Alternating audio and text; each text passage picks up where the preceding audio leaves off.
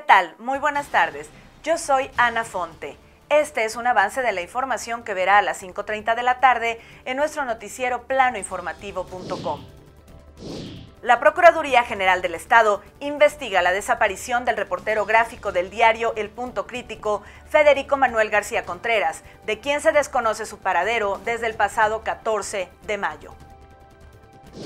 Cierran Avenida Universidad al paso vehicular. Inician obras de rehabilitación por daños en el pavimento. Tome precauciones.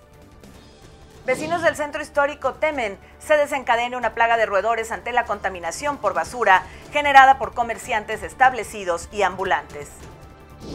La Secretaría del Trabajo realizará 7.000 inspecciones en las empresas en San Luis Potosí para verificar que cumplan con la normatividad laboral de seguridad e higiene.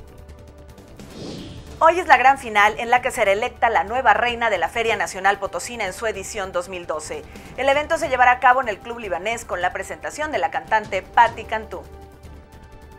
Los campamentos de verano, una alternativa recreativa para las próximas vacaciones. Le daremos los detalles sobre los diferentes campamentos que se preparan para esta temporada.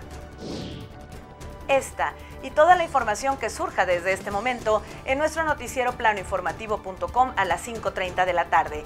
Lo invito para que visite el portal de planoinformativo.com y tenga la información completa de las noticias locales generadas minuto a minuto. También para que nos siga a través de Twitter en arroba planoinforma y en Facebook Plano Informativo. Yo soy Ana Fonte. Que tenga usted muy buenas tardes.